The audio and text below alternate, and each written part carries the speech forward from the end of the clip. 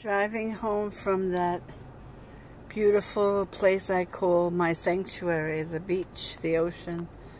There's uh, five people there today, and um, it was lovely, very quiet, very beautiful. I could meditate. It was lovely. And um, yesterday was an ego based day for me. I was in fear for the children mostly of what's happening in the world in that world. I have two feet, one in one, one in the other. And um, today I feel beautifully aware that in every moment I stay connected to my source, everything works. And it's just so apparent to me. If I need something in the house and I and I look for it now, I'm told where it is and there it is.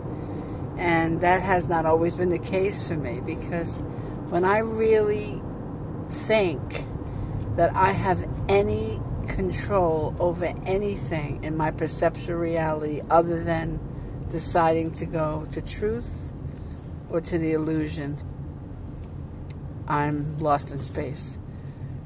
There's nothing here that isn't of my making and as soon as I get into the mindset of I need do this or think that or go there or have that, I'm distracting from the source. The source of all my information, all my guidance, all my sustenance. And I've been saying this for years. I remember in relationships past, you know, again, Ananda, you can't, come on you have to get a real estate agent. Ananda, come on, you got to go to the doctor. Ananda, come on, you know you need to eat. And though I still do that, mostly, that's my only yet illusion that I like to uh, embrace. But I'm realizing too, you know, in Course in Miracles, it talks about true compassion. And true compassion is to see the God in that person that's complaining or that person that's ill. As soon as you buy into their problem, you become one with it. And you make it grow in them. You make it seem real and it becomes a problem. And that's what's happening basically in the world. Everybody's talking about problems. I don't see solutions other than in my own head. so hopefully that'll become a reality for my me and my perceptual world.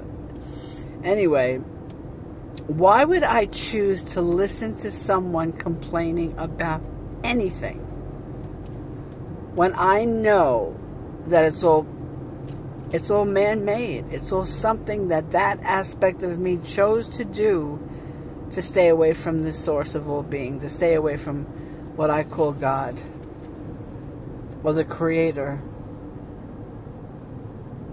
When I have that connection, when I hold that hand, when I plug in that plug, everything works.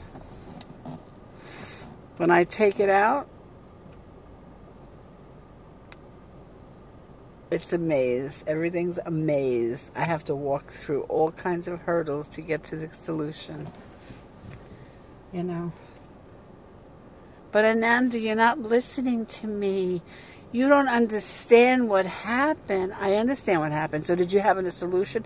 Yes, it worked out, but let me tell you how hard it was. Let me tell you that my mother is sick. Don't you get it? And you know what she went through? But is she feeling better now? Oh, yeah, but she went through hell. And that's basically what's happening. Oh, yeah, I had the V. I had it. Oh, yeah, it was terrible. How are you feeling now? I'm feeling bad, but you know, I'm feeling better, but I'm, I still know that it could happen again. And I got to protect me. I got to protect my kids. I got to protect my environment. I got to protect, protect my community. Like, what a friggin' insanity. And yesterday I felt so, so crazy because I couldn't understand how I've been teaching this to myself, allowing myself to be the student and hear the amazing effects of focusing on on God rather than on people, places, and things for my solutions. No matter what, when you go there first, it just makes things miraculous. As I say all the time, we're living in an infinite world with infinite solutions. Right now, I could choose to go straight, I can make a right, I can make a U turn, I can make a left, and that's just a tiny spot of realities. You know? And so when you really think that and understand, I mean, so many times I pull up to a store and I decide not to go in. Why? It just doesn't feel right. I go in the refrigerator and I pull out something to eat and I don't eat it. Why? It doesn't feel right.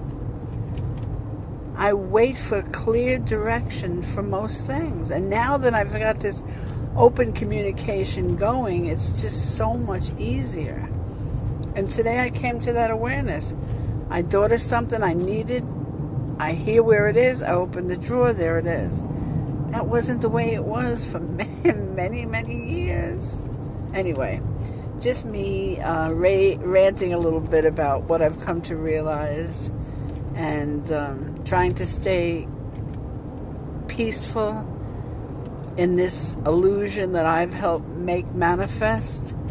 And the one leg is in heaven, totally in peace and joy, knowing that there are only solutions available. And the other leg in the muck, living in two worlds, which is almost impossible to do in peace. Anyway, have a beautiful day, rest of the day, rest of the night. I love you. Bye.